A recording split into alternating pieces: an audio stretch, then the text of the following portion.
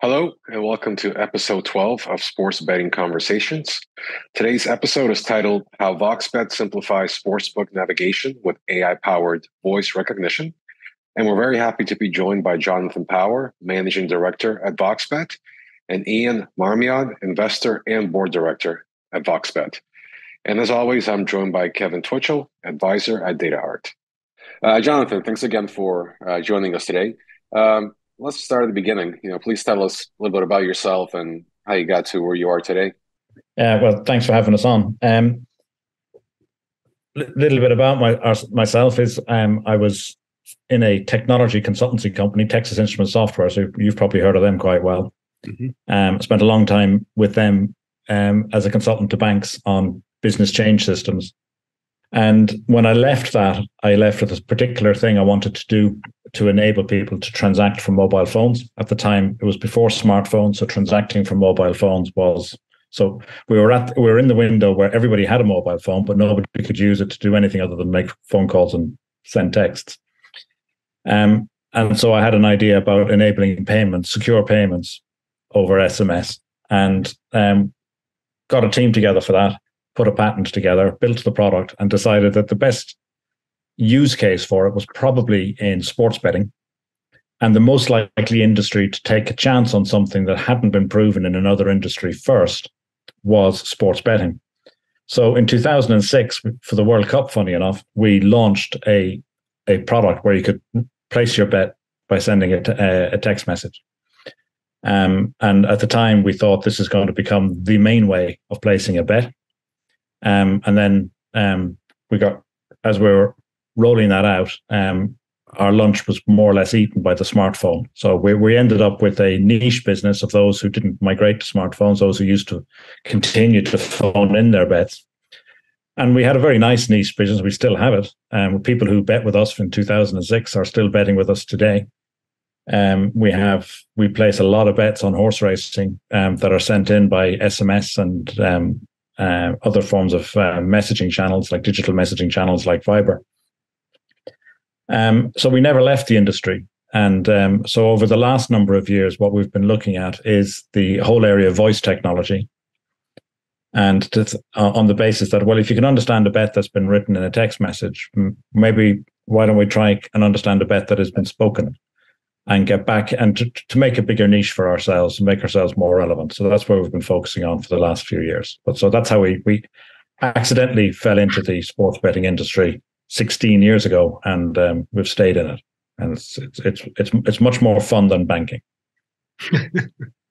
yeah, definitely, definitely sounds that way. Uh, so so it's interesting because you were kind of um, um, not forced, but the market kind of made you look at other options, right? Uh, well, not really the market, but the evolving technology around um, phones and uh, mobile devices. Um, yeah, sure. Like a great, a great quote from of all people, Mike Tyson is "Everyone has a plan till they get hit in the face." So you get punched in the face. yeah, excellent. Um, so, uh, you know, thank you for that overview. Uh, can you go a little bit deeper into you know what VoxBet uh, does and some of the, the, the products that that you offer and how how are they how do you differentiate yourself from uh, the competition in the market?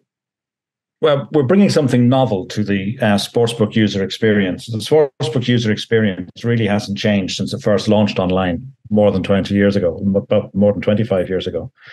So what we're bringing is a very simple product, which is a little microphone that people can put on their betting site or on their in their app where um, it's just like the, it'll it'll work very similar to the microphone people use on WhatsApp all the time, or a certain cohort of people use on WhatsApp all the time, which is young people.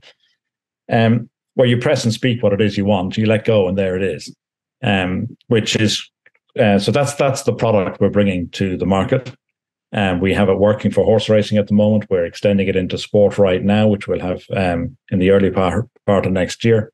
Um, so it's we're trying to create the a u, offer a ubiquity a ubiquitous um, navigation method for people to get what get to where they want to get to on a sports book. So it's a bet mic is, is what we'd call that product. Um, so um, it's as simple it's as simple to explain as that. Um, what's in what's happening underneath is far from simple. Um, and in terms of how that differentiates, it brings it brings a number of um, advantages to the operator and or to the consumer, which um, which is and the first one of those is speed. Is that if you the way you currently navigate a sports book is how you used to navigate the internet with AOL and with Yahoo in the mid 90s. Mm-hmm. Um, and when Google came along, there were, at the time Google launched, there were 2 million websites. And we did a check on just on one of the customers, operators we work with. And at any one time, there's over 2 million things you can bet on. Um, but we're still using, and when, when a game goes in play, there are many times more than that. Um, so there's you're you're still offering an AOL style user interface, which is going through endless clicks of menus to get to what you want to, in a world that moved to Google 20 years ago. Um, so the first advantage is a user experience advantage is speed. Um, but the other thing you can potentially where where it can open up an advantage for operators is it can free up real estate. So at the moment, all the real estate is taken up with content. Um, so that has two things. It, well, the direct consequence of that is everybody looks the same. Now, it's not just that everybody looks the same operator to operator, which is true. It also means that your version of, let's say, FanDuel and my version of FanDuel, even though we might bet on completely different things, look identical, 100% identical. So yeah. FanDuel and TwinSpires or whatever, they might be 98, 99% identical, but my version of FanDuel and your version of FanDuel and Ian's version of FanDuel are 100% identical. And that doesn't happen anywhere else in the digital world. It doesn't happen in Spotify. It doesn't happen in Twitter. It doesn't happen in TikTok. It doesn't happen on Amazon. But it happens in sports betting. And the reason for that is that there's only one way of navigating the content, which is through endless menus. So all the content is accessible through the same set of menus. And when you do that, you've no room for anything else. But if you can navigate the whole sports book by speaking or typing, by the way, it's not just speak. You can you can type either for those who prefer. Um, you free up probably ninety percent of the real estate, and that ninety percent of the real estate should become what's what I like, what I like to bet on, what the bookmaker, what the operator thinks I might be interested in, but what I've also expressly said I'm interested in or not interested in. if I went on to a sports book now, I could be offered a bet on tennis. Well, I should be able to like not me, but like people younger than me would do on Tinder and just swipe left, say, not interested in that. And I won't ever see it again. Mm. Um, but that that should be how I, I should be able to configure, say, I'm interested in that. I've bet on that. I've won on this before. Every time this horse is running, I want to know about it. Every time this team is playing, I want to know about it. So, and what over time, then, if you can free up the real estate of content and allow for personalization, your version of FanDuel and my version of FanDuel are completely different, and which will align sportsbooks with everything else in the digital space. Um, so, and a key part of that is not just about improving user experience for existing players; it's about appealing to young people. Um, young people are being asked to engage with something that is, and this is where Ian might be able to uh, um, talk a little bit about this because it's one of the real challenges in the business he's involved in. How do you appeal to young people? They're they're very different. Um, you we could say like they're so different. They don't even like we thought text messaging was a dream instead of a phone call, but now actually they've gone that further and they they won't even type a message. They'll send it as a voice message.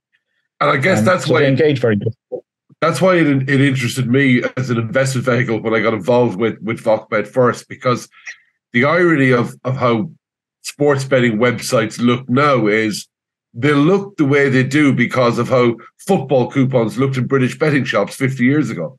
Uh, and and because we're constantly on a treadmill with new jurisdictions and new licenses and the, actually the opportunity to invest in that UX uh, isn't there because a New Jersey or an Indiana or a Malaysia or a China will always be more important than let's sort out that homepage and, and make it more personable.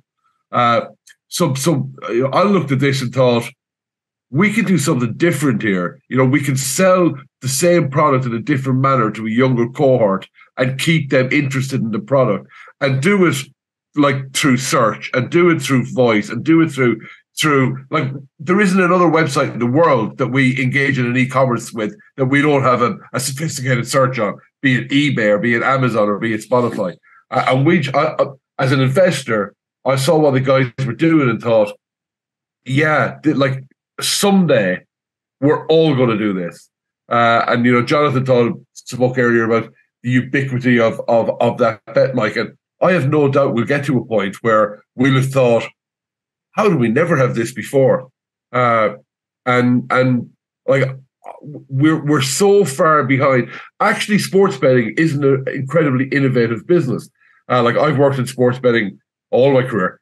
Uh, you can name on the fingers of one hand what we've done in an innovative manner in sports. In play was one, cash out was another. You know, I'm struggling. I'm struggling after that. Yeah. Uh, so we're a slow industry. We're a slow industry to adopt. But what you find is once somebody adopts, everybody adopts. Uh, and I, like I'm, I'm very confident that's where the guys will get to with this. And I think yeah. you're you're spot on. As we look at the U.S., and we look at you know just what we're seeing you know we come we DataArt we work with the entertainment companies. We work with Spotify. We work with music companies. And in uk we've worked with Betfair um, for a long time. You know but when you see when you look at the consumer data data that 18 to 34 year old male that's that's who's the future of sports betting right now. And they are not looking at the the internet the way we did. You know yeah. like exactly everything's instant and everything is personalized and it, they expect it. You know, so I think you're spot on. Um, so when you look at that and the complexity of the U.S. with the, you know, you touched on it, New Jersey, the states. You know, look look ahead as you come into the U.S. What are your challenges dealing with all those regulations? As I'm driving in my car back and forth on the George Washington Bridge between state to state, how do you how do you geo target me uh, in this world? Have you have you started to address that? Um, there are companies out there who have specialized in that, and mm-hmm. um, I would see those. I would see those as corner cases. Right. Um, but what the what the point for us is is that the bet mic it sits inside the um, operator's estate. Nothing can happen that doesn't go through the same geolocation checks as anything else you do on their sports book. We're not introducing a new layer of risk for them. We're, we're working inside the framework of risk management they already have. Um, so um, in a way, I'm sorry I didn't try and solve that problem because the companies who have, there are very few of them, and they're absolutely cleaning up. Um, but it's not it's not our lane. It's not our lane. Um, sadly, we can work with uh, them. yeah, we can. We, we, that's exactly it. We can work with yeah, any of them. Exactly. But, hmm. and we're happy to do that. There, there's an added, and we may touch on this later, but there's an added complexity in the states in that sports betting is an expensive product to sell as it stands. Obviously, 50% tax in New York, but, but high taxes everywhere. Right. And the nature of the US sports better is they tend to play handicaps, money lines, over unders, which are tiny margin products. Uh, and and the ability to be able to sell them higher margin products easier has to be a hook for, for a lot of these operators. And you you'll have seen the the big push on same game parlays in, in the US over the last year. That's not because they, they think the consumer wants wants differentiation. It's because they need margin, uh, and yeah. they're high margin products. So the ability to be able to sell them easy, more easily uh, has to be a big hook as well. And I, have seen that a lot of that recently, uh, or or more than I have in previous months on the apps that I use, where they offer these like uh, same game parlays and they look reasonable. Like, like one that I kept losing on over the summer was uh, a, a, baseball parlay, no runs in the first inning across three games, and it's always one team is going to score in the first inning, and, and it looks like pretty simple bet, right? And the odds are great, but yeah, some of them like really suck you in. They look they look pretty pretty good, but um, and they make it easy too, right? In terms of you click a button, you add it to your bet slip, and off you go. You don't have to worry about um, like you know Jonathan was saying, thumbing through you know menu after menu. Um, but if I did have voice capability, uh, maybe I wouldn't even look at those, you know, uh, offers because I think everybody or most people should know the reason they're there is not for you to win, right? it's for it's for the, the, book to make some money. But if I have the ability to just say, "Hey, give me this, this, and that," um, I wouldn't even look at those things. Yeah, I think the operators know as well. If you keep losing, you'll just stop playing. I think they, they, they I think they want you to spend hundred dollars and get ninety back. Is um, and having having had a lots of a lot of fun, but um, yeah, it's uh, it must work, be tough. I used to work for, game, hoping there's no run.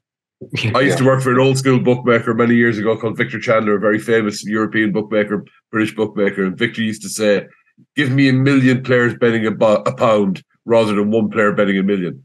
Uh, and, and you know that, that's that's where we're trying to get to, right? So it's added right. value, it's entertainment, and and you don't mind how slow they lose that dollar as long as they lose that dollar, right? Right.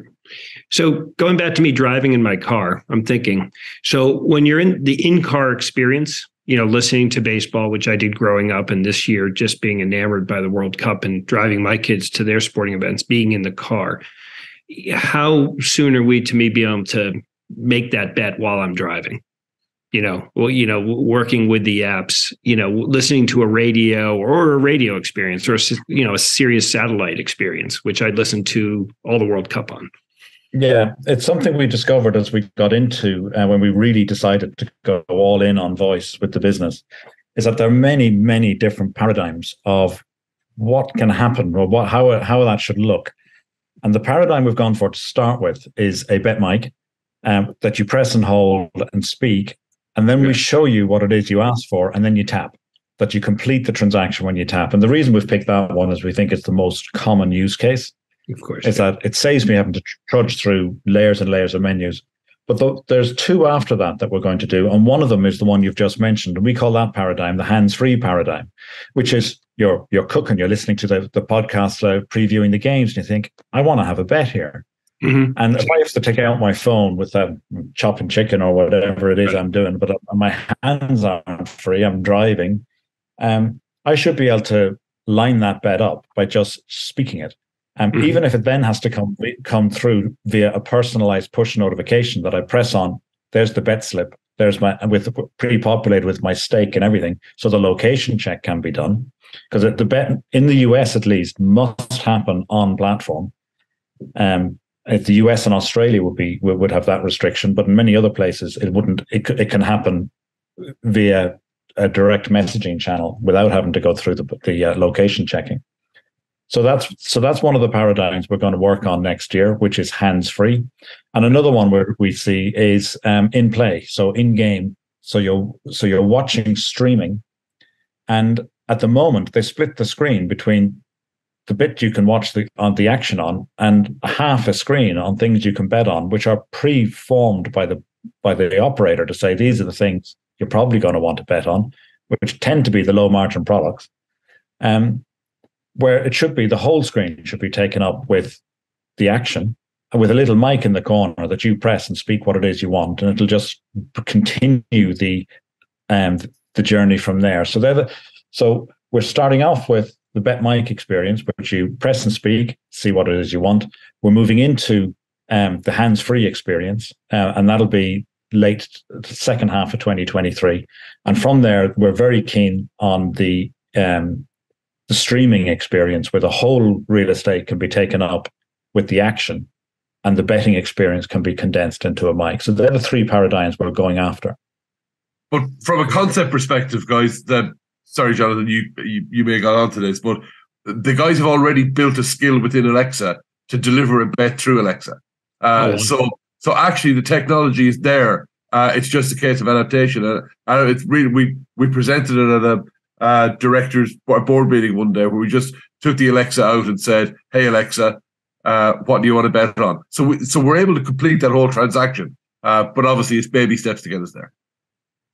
Yeah, that yeah I can see that in our house with my 18 year old boy because you know he doesn't turn on the light without talking to Alexa. Yeah, yeah. You know, so it's it's you know already they've already they don't even know how to turn on a light without you know Alexa or ask the weather. You know, might as well place a bet.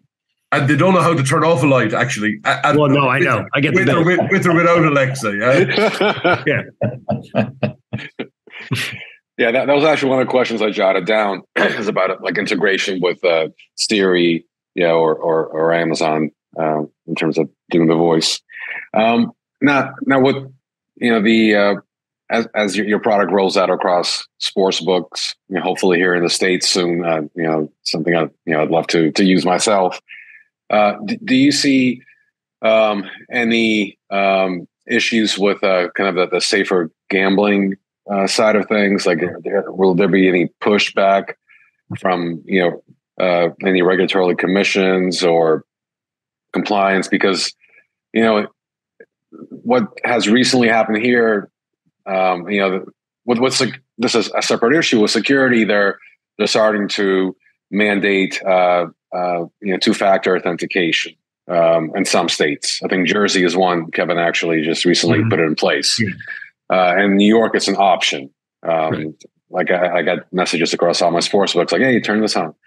Um, but uh, with safer gambling, uh, I know some sports books have gotten into trouble about saying that, "Oh, we have you know free bets and risk-free bets," and it, it, it makes it sound like you know you can't lose money.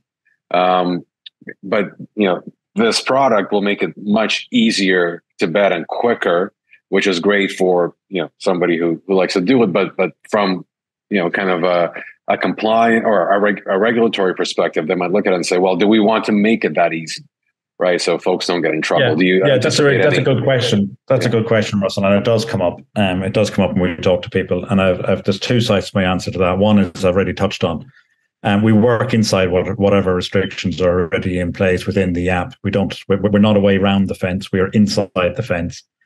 And the second one is, well, we can't know yet, but unless regulators think a bad user experience is a good form of um, enforcing responsible gambling, um, I don't see an issue. Um, I think making reducing the friction in an online journey um, so it's probably yes, it does make it easier, but I don't think I don't. I really would be surprised if regulators are going to go down the route of saying, "Let's keep a bad user experience, guys." It might reduce. Um, it might it might reduce problem gambling. I it, that would be illogical to me, but you know, it's probably it's probably best answered by me as an operator, which is I guess my day job.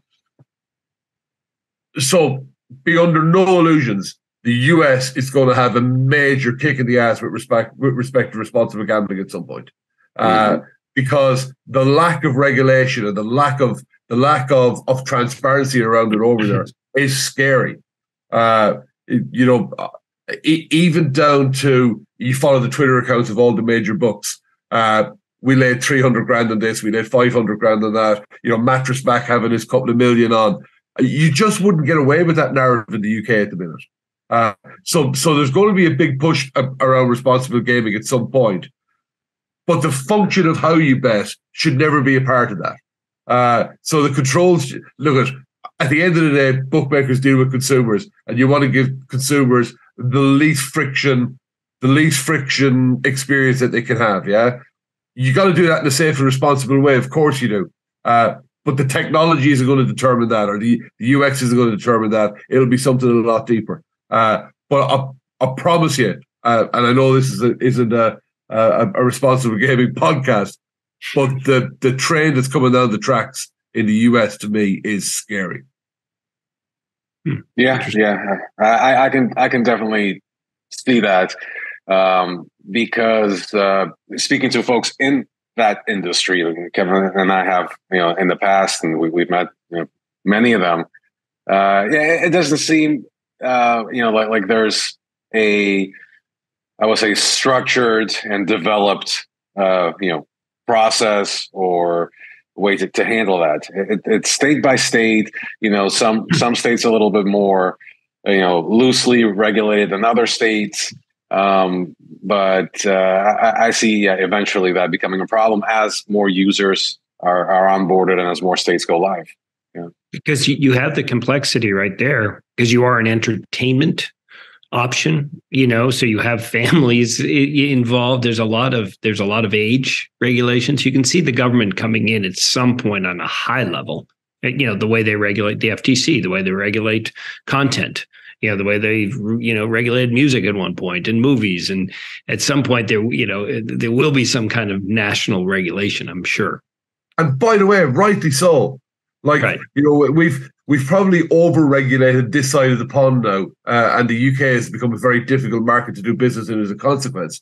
But the reason we've over-regulated is I've I've worked in the industry nigh on 30 years, we got away with too much uh, in the old days. Uh, and we we and we didn't care. We I guess we didn't understand, but we certainly didn't care.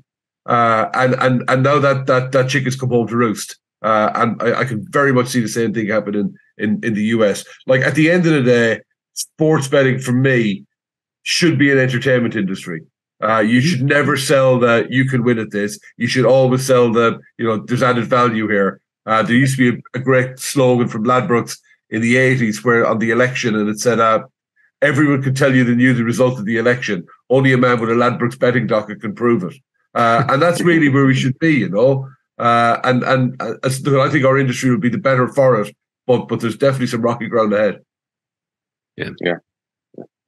Interesting. Uh, okay. Uh, so the last thing, and we, we can ask all our guests uh, this this question is, uh, and I think uh, we've already chatted about it a, a little bit, but um, what do you see happening in the next like year or two in the sports betting market? Um, and you know, UK or US or, or both is fine for your predictions.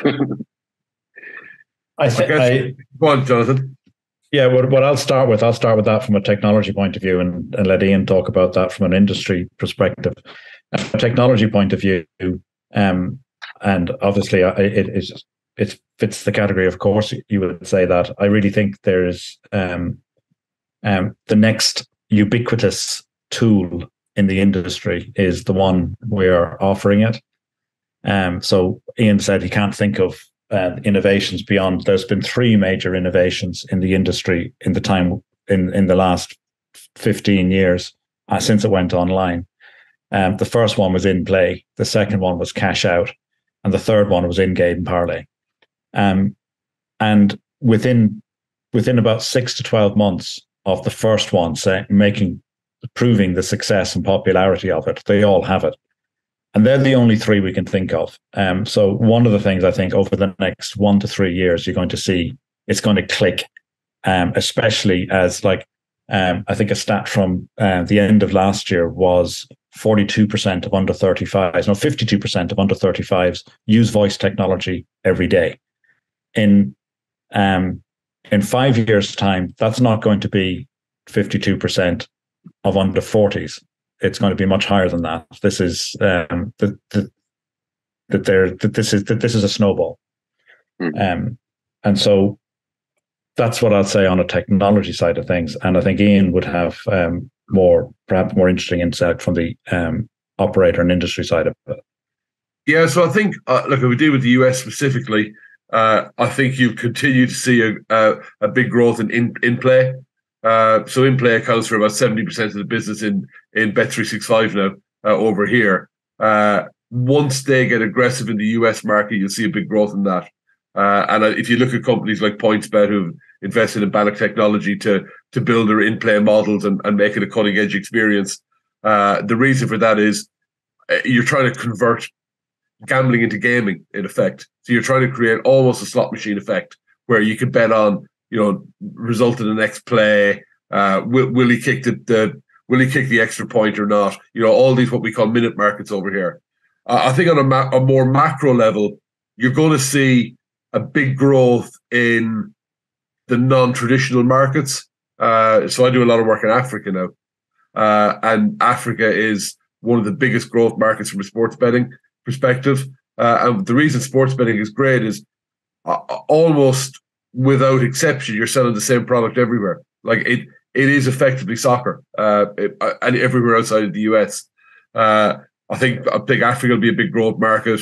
Latam will be a very big growth market, and I think you'll see some of the middle and east, Middle East and Asian countries open up as well. And I think you'll see the likes of of Flutters and the Entains of the world turning the focus to to non-traditional markets where there's more juice left in the lemon. Uh, there's very little juice left in the lemon in, in, in, the UK now.